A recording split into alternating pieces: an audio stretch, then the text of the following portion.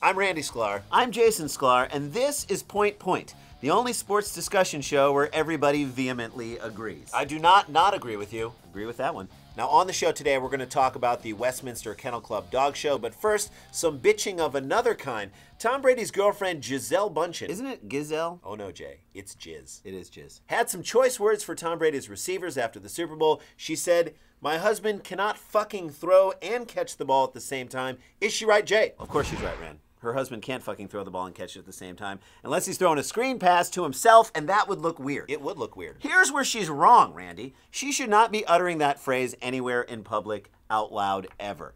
Problem is, she's a model. Mm. She's probably only been told she's wrong two or three times in her life. The last time being when Tom was like, hey, take your skinny ass back to Trader Joe's and get the right Luna bars. I'm a blueberry bliss man, bitch!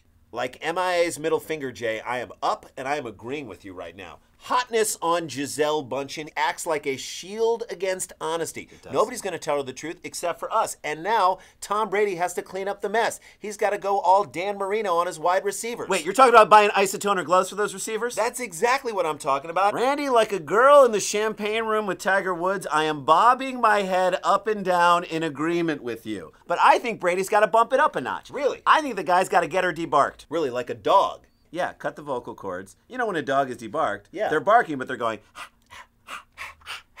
Every time Gisele needs to say something stupid about his receivers, she's going to open her mouth, and all that's going to come out is.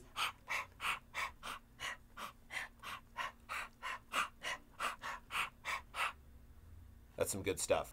All right, topic number two. We're going to take this one to the Twitterverse. We got to talk about the Gronk and Gronking, which I think Gronking is a verb now for bad white person dancing. Yeah, the Gronk stance was so bad, Mark Madsen was embarrassed.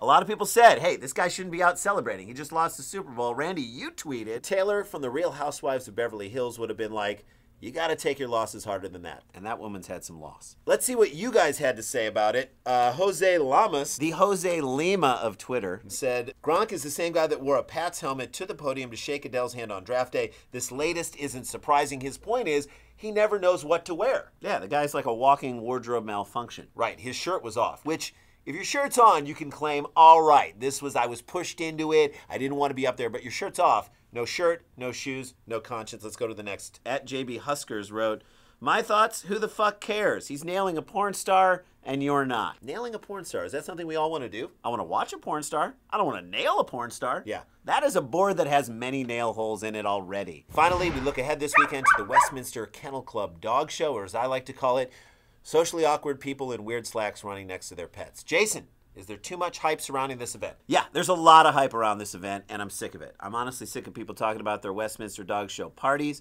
I'm sick of uh, commercials getting leaked on the internet ahead of time. I cannot go anywhere without people saying, Is the Deerhound, the Scottish Deerhound Hickory, is she going to repeat this year? Hey, newsflash. Yeah, she's going to repeat this year. Well, lock me in a bathroom and call me Mrs. Roethlisberger because I am helpless here, Jay. I have no option but to agree with you. I forced you to agree with me. When Roger Goodell is considering putting the Pro Bowl at the midpoint of the Westminster Kennel Club Dog Show, I call that some motherfucking puppy bowl logic, bitches. And on the issue of Hickory, you can skip that Bayless, Jay, because I completely agree with you. Hickory is definitely going to repeat. There's no way she's not going to repeat. She's added two pounds of lean muscle, and she stopped licking herself in front of mixed company. Randy, she's got the three F's. She's focused, she's fit, and she's fixed. She's going all the way again. And that's something we can all agree on. Hickory repeating. I'm Randy Sklar. I'm Jason Sklar, and this has been Point Point.